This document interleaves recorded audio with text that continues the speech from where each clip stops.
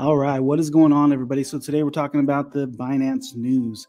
Um, as you probably already heard, CZ, this is his latest uh, post on X. He said, Today I stepped down as CEO of Binance. Admittedly, it was not easy to let go emotionally, but I know it is the right thing to do. I made mistakes and I must take responsibility. This is the best for our community, for Binance, and for myself. Binance is no longer a baby. It's time for me to let it walk and run. I know Binance will continue to grow and excel with deep bench it has. I'm pleased to announce that Richard Teng, our new formal global head of regional markets, has been named the new CEO of Binance today. Uh, Richard is a highly qualified leader, and with over three decades of financial services and regulatory experiences, he will navigate the company through its next period of growth. He will ensure Binance delivers on our next phase of security, transparency, compliance, and growth. Uh, prior to joining uh, Binance, Richard was the CEO of the Financial Service Regulatory Authority at Abu Dhabi Global Market, ADGM, Chief of Regulatory Office of the Singapore Exchange, SGX, and Director of Corporate Finance in the Monetary Authority of Singapore. So, who is Richard Teng? He is the new CEO of Binance. He says it's an honor, and with this is his latest um, um, post here. It's an honor, and with the deepest hu- humility that I step into the role of Binance's new CEO. Uh, we operate the world's largest cryptocurrency exchange by volume. There's trust placed on us by our 150 million users and, th- and thousands of employees is a responsibility that I take seriously and hold dear. So, what has this done to the Binance chart? Um, the whole cryptocurrency as a whole.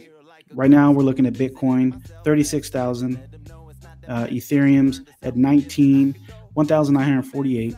BNB is down to 227.64.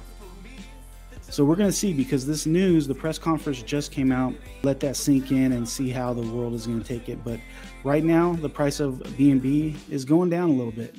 So I would expect a dip. I would think and I would hope that Binance is going to recover from this because Binance is a huge part of the cryptocurrency as a whole.